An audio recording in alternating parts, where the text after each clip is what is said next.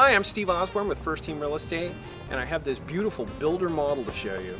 Now this floor plan will be available in a variety of locations in the Beaumont area. Let's have a look.